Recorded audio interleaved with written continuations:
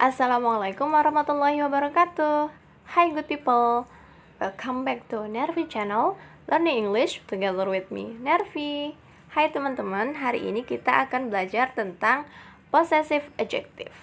Yap, apa itu possessive adjective? Possessive adjective adalah kata sifat yang digunakan untuk menunjukkan kepemilikan terhadap suatu kata benda atau noun. Oke. Kemudian possessive adjective biasanya terletak sebelum kata benda atau noun.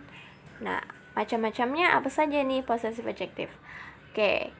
Jadi, uh, kalau subject pronoun I atau saya, possessive adjective-nya berubah menjadi my. Artinya punyaku. Oke, punyaku ya. Kemudian subject pronoun you, kamu, possessive adjective-nya berubah menjadi your, punya kamu. Kemudian subject pronoun they, mereka, possessive adjective-nya berubah menjadi their, punya mereka. Kemudian subject pronoun we, kita, possessive adjective-nya berubah menjadi our, punya kita. Kemudian subject pronoun he, dia laki-laki, possessive adjective-nya menjadi his, Oke, uh, semua nama yang berjenis kelamin laki-laki, possessive adjective-nya menjadi his juga ya. Kemudian uh, subject pronoun she, dia perempuan, possessive adjective-nya menjadi her.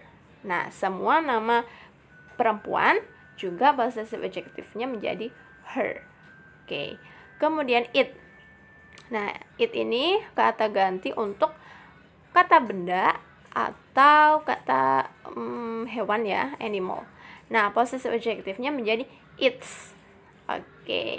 Nah, ini uh, macam-macam possessive adjective.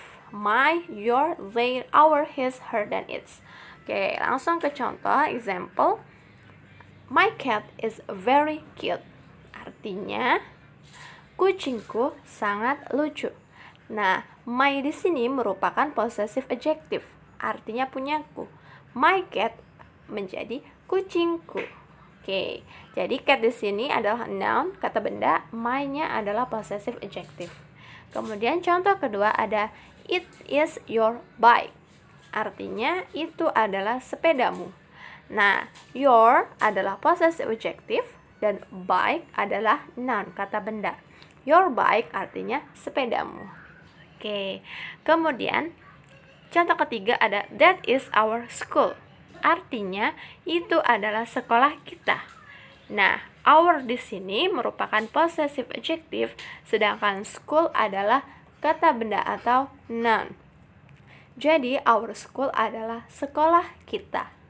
Oke, jadi paham ya teman-teman? Any questions? If you have any questions, please write down on the column comment below. Thanks for watching. Don't forget to like, comment, share, and subscribe. Wassalamualaikum.